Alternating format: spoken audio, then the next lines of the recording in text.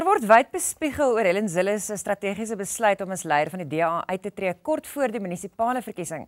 Die vraag is nou, is daar genoeg tyd vir die nuwe leier om hom of haarself te bewys?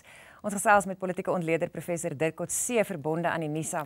Baie welkom professor. Ek dink die eerste vraag is, ehm um, wat wat beteken dit vir die DA as 'n party? Ek dink dit is die einde van 'n era. Ehm um, ons het die twee eras gehad van Tony Leon en nou van Helen Zille en ek dink dit gaan die begin wees van 'n nuwe era. Uh, Helen Zille het uh, toe sy in 2007 uh, die leier geword het, het sy die die DA omgeskakel van 'n um, ehm, 'n kritiese oppositie na 'n party wat hom voorberei het om in regeringsposisies in te gaan. Ons het gesien in die in die Weskaap het dit al gedoen. Um op plaaslike vlak by hele verskeidenheid van uh, plaaslike owerhede het hulle die die regering oorgeneem, soms saam met Cope. Um en ek dink wat nou te sprake is is dat hulle het in 'n sekere sin 'n plafon bereik. Um Hulle het die meeste wit, bruin en en India stemme gekonsolideer.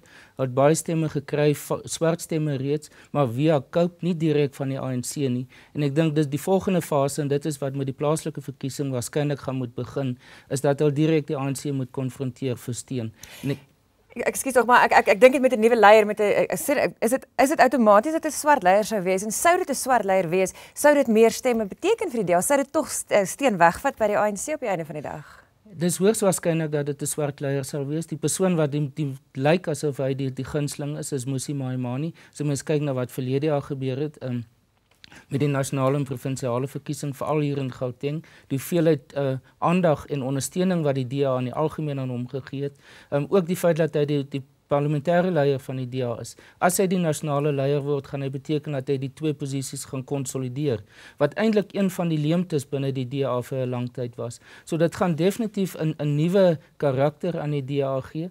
Um op die op die vlak van hulle adjunk uh, voorsitters is daar reeds tot 'n groot mate 'n sterk swart teenwoordigheid. So dit gaan die die DA definitief herposisioneer vir die toekoms. Maar jy noem nou net Musi Maimane. Maar wat van ander wat van ander kandidaate? Wie's ander wie's op die lys? Die die ander moontlike kandidaat is uh, Ethel Trollop van wat die leier van die Oos-Kaap is. Hy was in die verlede reeds betrokke, maar daar was blykbaar 'n um, problematiese verhouding tussen hom en Ellen Zille gewees en dit is hoekom hy terug is na die Oos-Kaap toe. So hy kan moontlik staan, maar ek kan mens kan selfs voorspel dat Musi Maimane selfs onbestrede verkies kan word, maar ek dink hy is definitief die voorloper op hierdie stadium.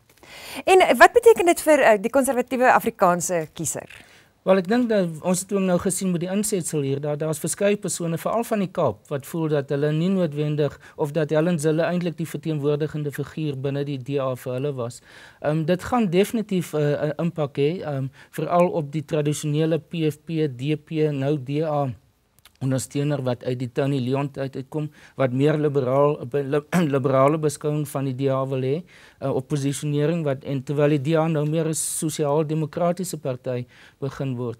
Um, ek dink vir vir veral die breinstemme in die Weskaap is dit ook belangrik omdat dit lyk asof daar nie vreeslik sterk uh, verteenwoordig is van beide die brein en die Weskaapse uh, leiers binne die die nuwe nasionale leierskap um, van die DA gaan wees nie. So jy moet in ieder geval ons ontmoet ehm um, klaarmaak. Ehm um, baie dankie. Dit was politieke ontleder professor Dirk Coetzee verbonde aan Unisa.